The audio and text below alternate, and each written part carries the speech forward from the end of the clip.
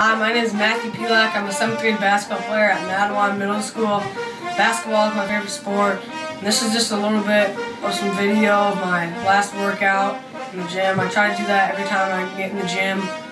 And my favorite basketball player in the NBA is probably Kyrie Irving. What motivates me the most is my brother Gabe. He's really good and I can just try to be better than him one day. So I just enjoy this video.